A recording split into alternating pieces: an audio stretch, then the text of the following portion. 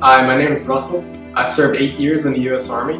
I was introduced to ACP from the University of Oregon. ACP connected me to Steven Hunter from UBS. Steven helped ease the stress of my transition and helped me build professional connections. So thank you, Steven, for being a great mentor to me, and thank you, ACP, for providing this service to Better.